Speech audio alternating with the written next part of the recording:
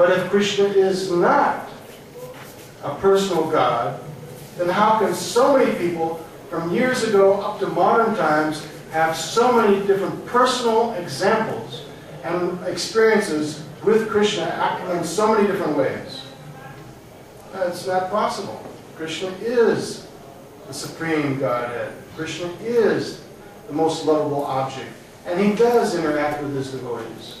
So these stories, there's so many stories, and there's so many more that are out there. I did a, uh, um, a uh, session at the Festival of Inspiration in New Vrindavan last year. And uh, so I opened the session with different examples of how Krishna interacted with their devotees. And then I asked different devotees to come up and start giving their own experiences. And so many people, so many of the devotees had relationships uh, with the deity in so many different ways that uh, it became very inspiring. You know, the festival is supposed to be a festival of inspiration. So I thought, well, let's start it with something inspirational. And so many devotees had stories of how the deity interacted with them, showed them different things, or came into their dreams. So it can happen to you. Maybe it already has. Maybe you've already had these experiences. And if you haven't, then if people have, so many devotees have already had them, then you can just imagine what's waiting for you if you continue to develop your Krishna consciousness on the path of Bhakti Yoga. So it can happen to others, it can happen to anyone who is sincere. And you can talk to any one of these pujaris that are here in this temple, and many of them have already had experiences. So does that mean they're getting divine eyes, like was given to Arjuna to see the Vishnu Rupa? In some ways, yes. They might not see the universal form. Of course, they're probably not interested in seeing the universal form.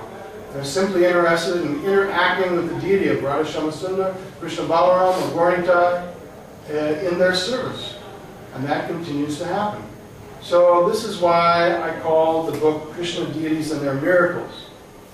Because some religions seem to have uh, the idea that they have a monopoly on, on miracles.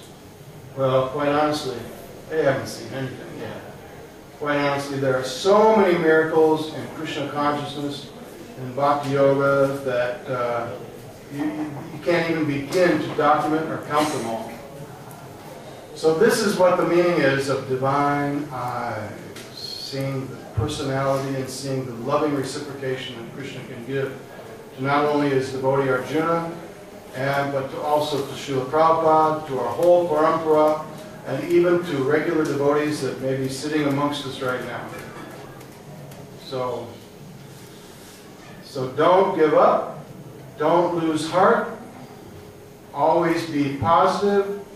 Work towards it because basically, if we all help each other attain a higher level of Krishna consciousness, a higher level of spiritual perception, then basically if I help you and you help me and we all help each other, it creates a very strong atmosphere of positivity. And it propels us to keep working in this way. So we can share our stories like this. We can share our inspiration. We can share our, just like last night, we can share our experiences that we've had with Srila Prabhupada. Uh, that's the easiest way to get started. And then we can also share our experiences with the deity of Lord Krishna.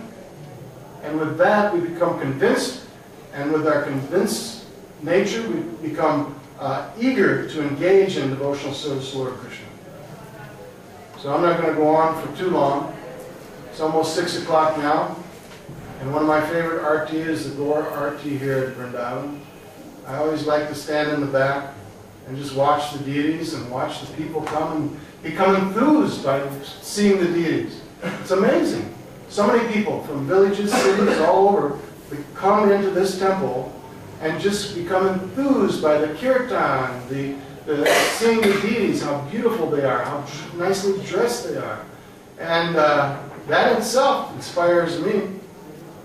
So, uh, and we can see sometimes the, the people come in and they start dancing and, you know, uh, and you wonder how many times has that ever happened in their lives, you know, where they come in and they start dancing in front of the deity or dancing to the kirtan.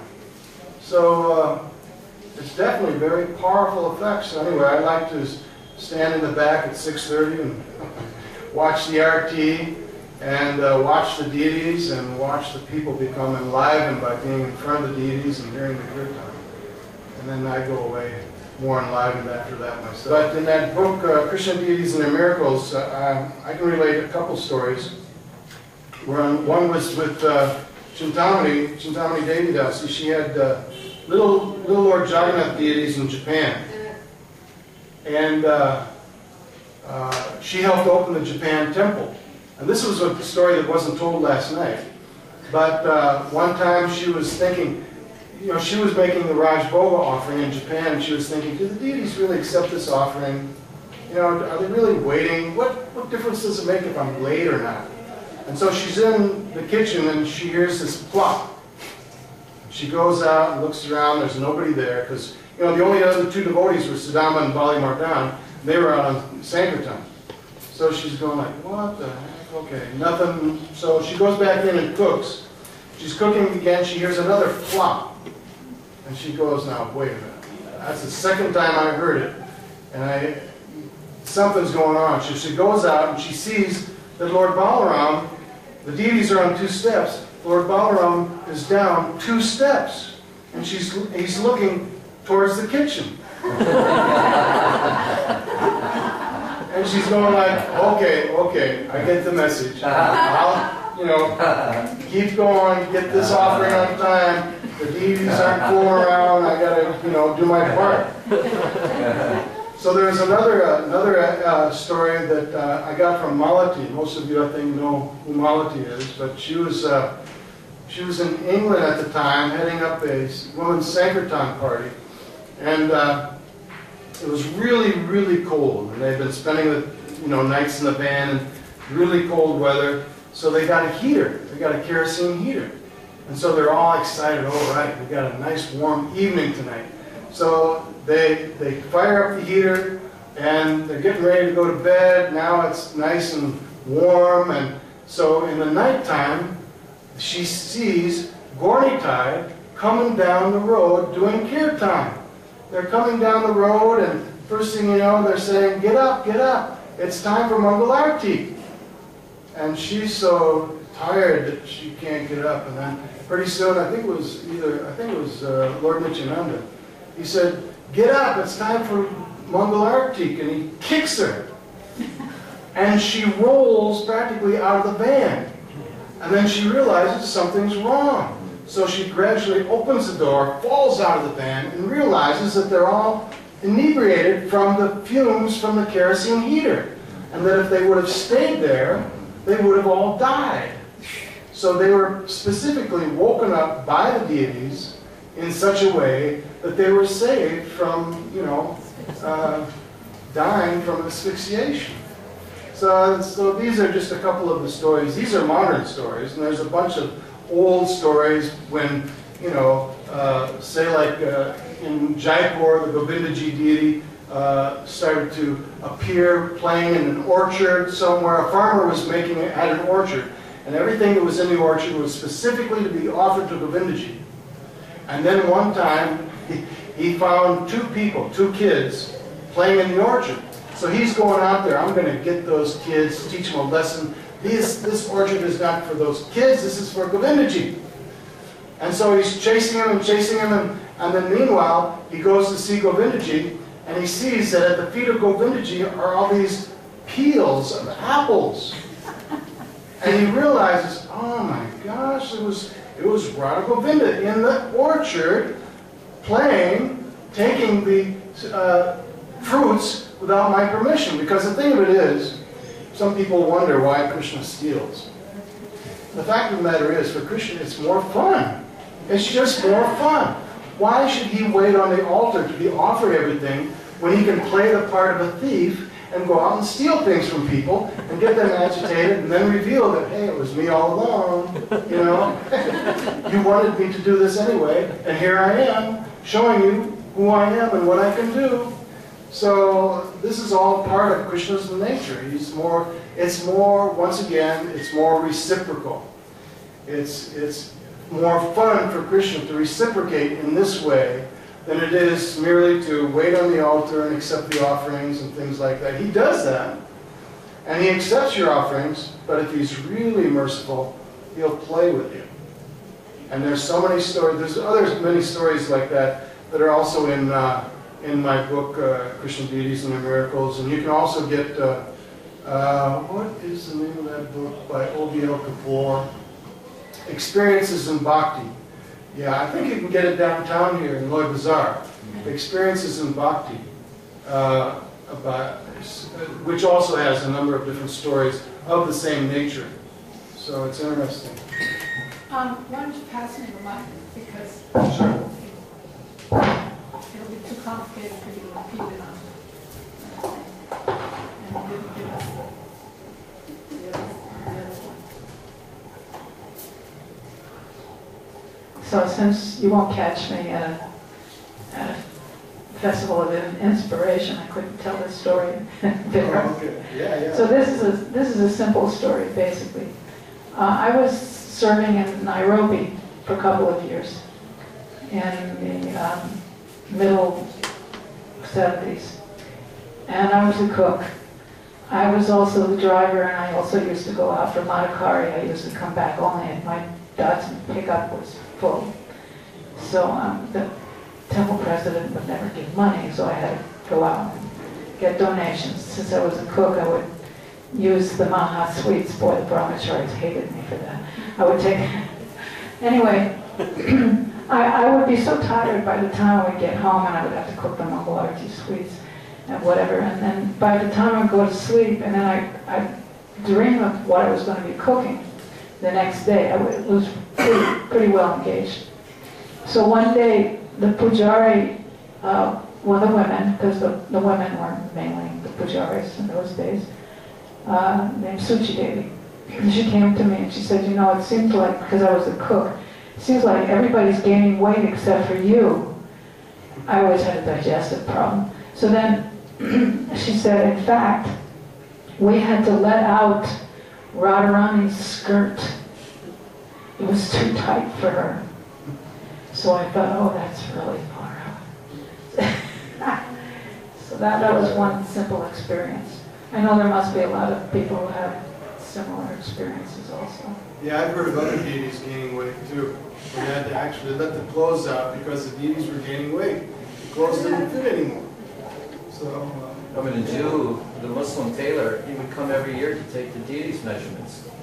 And the devotee said, why do you come every year to take the deity's measurements? He said, they change every year. Sometimes they contract, some, uh, sometimes I have to say. huh, really? Yeah. There's, a- there's another. Beginner's question, I'm afraid. Sure. Um, is um, the relationship with Krishna always coming out through the deities or also through Guru? Oh, from, from, from many different ways. As okay, not Yeah. only through. Yeah, many different ways. Oh, I have another comment. You may, You may think that the deities are looking around, but they're just looking at me. I- I've had the experience of asking other devotees, and they have the same experience. They're not looking, they're looking at me. And I had a dream once of, of uh, well, I won't explain the whole dream, but I was next, I, I I told my daughter, I woke up and I told my daughter, you know, I was right next to Krishna. And he, s- and she answered me very, you know, very instructively, basically. That's because Krishna always makes his devotee feel like he's only there for you. That's the same way it's described in the Bhagavatam with the gopis.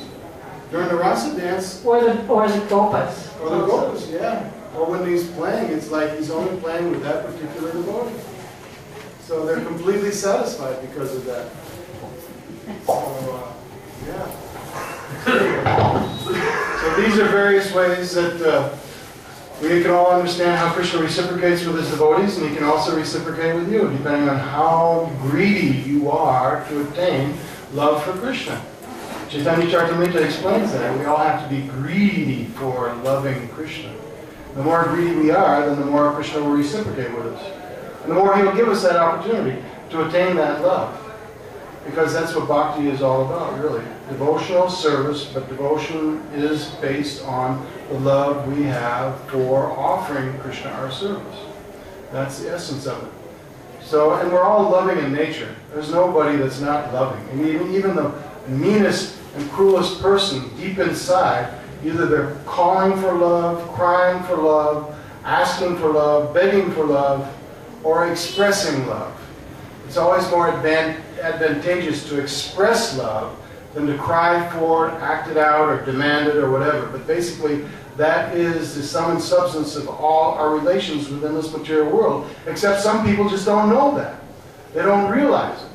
They don't see that basically I'm mean and I'm angry because I'm not giving enough, getting enough love, or I'm not being able to express my love, or I don't know how to express it. So then they get angry. You know, but that's all it comes down to right there. You know, so if we learn how to express and interact our loving relationship with Krishna, then, hey, problem solved. We just need to go more deeply into that.